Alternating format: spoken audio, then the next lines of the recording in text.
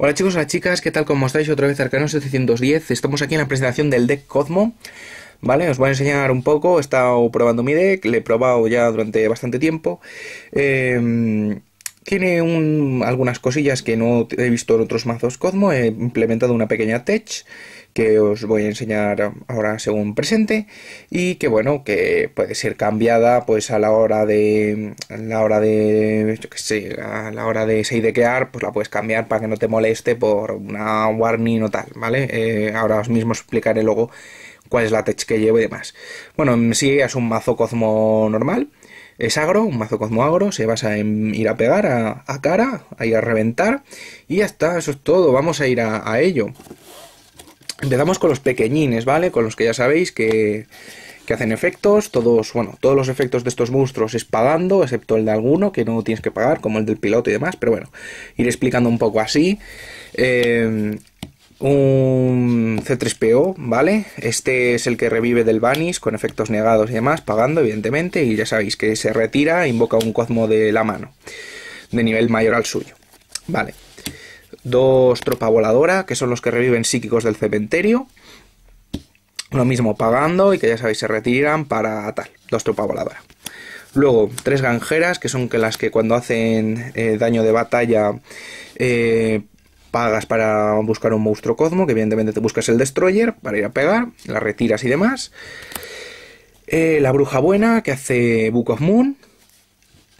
las bruja mala, Cosmol que lo que hace es que se vuelve inmunerable, ¿no? Se vuelve indestructible y lo mismo, la retiras para...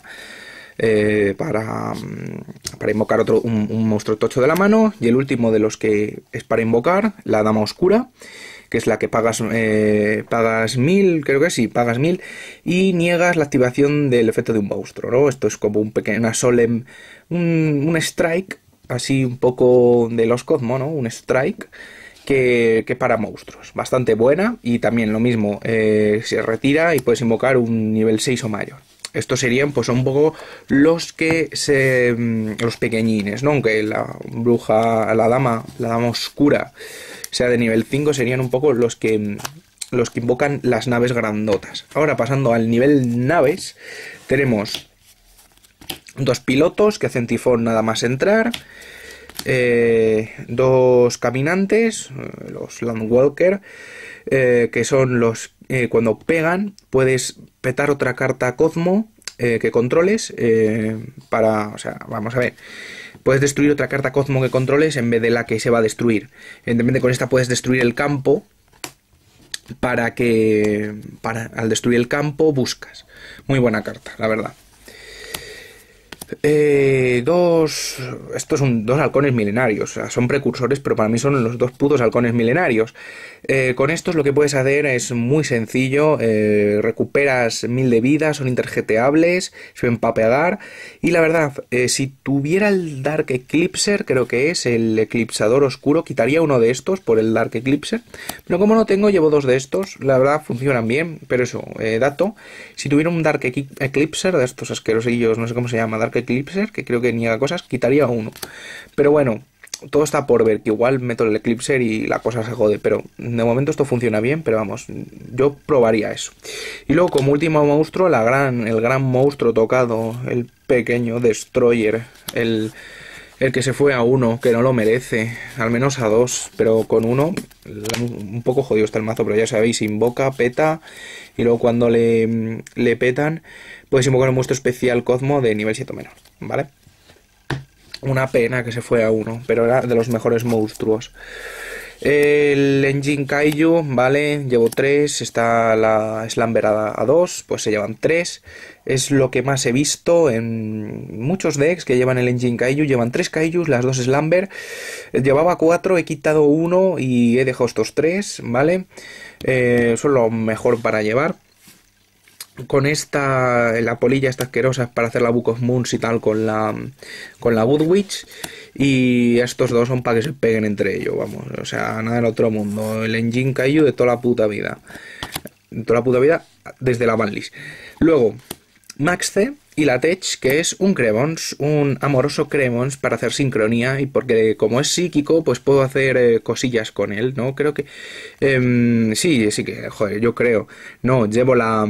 El, ahora como vais a ver, el teletransportador de emergencia y puedo hacer sincronías con él. Evidentemente esto en Sideck, pues por ejemplo, lo puedo quitar para meter la warning y demás, por si necesito más protección.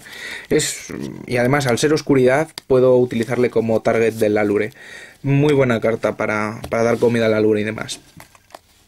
Continuamos, tres pueblo Cosmo, ¿vale? Lo típico de siempre, buscas, te cambias mano, muy rica. Eh, tres atractivos de la oscuridad, robo, eh, un teletransportación de emergencia para quitarte cosas, invocar monstruos que necesites, el razonamiento, tres cuartas de lo mismo. Esto muy bueno para invocar un bicho muy tocho, porque normalmente con los niveles que hay aquí nadie suele acertar.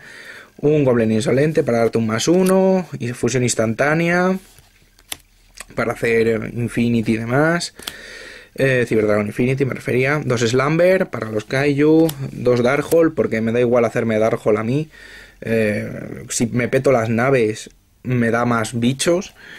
Eh, dos torbellinos gemelos para petar Backrow. Y un tifón del espacio.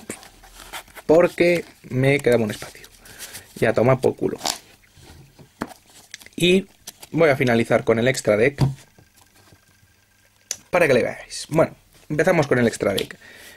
Un tiburón de pesadilla para dar el golpe final.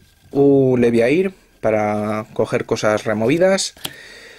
Un arca para coger bichos. No la suelo utilizar mucho, ¿vale? Este es el que sí lo utilizo, el Castel, para quitarme cosas de encima. Volcasaurio y, y Durandarte para petar y para reciclar mano. Dos Nova, evidentemente. Un Infinity. Por si me petan un Nova, luego hay más cosas.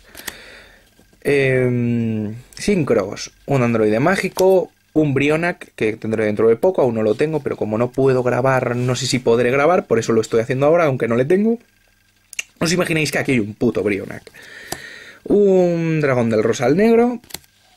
Un ala transparente.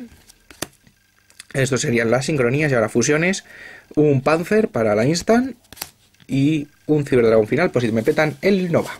Y esto es todo, chavales, no hay más. Esto es todo lo que había que presentar. Pues nada más, espero que os haya gustado. Si tenéis alguna duda, ponedmelo en comentarios y eh, os la solventaré. Eh, espero que os haya gustado. Like favorito, suscribiros si no lo estáis y nos vemos en próximos vídeos. Adiós.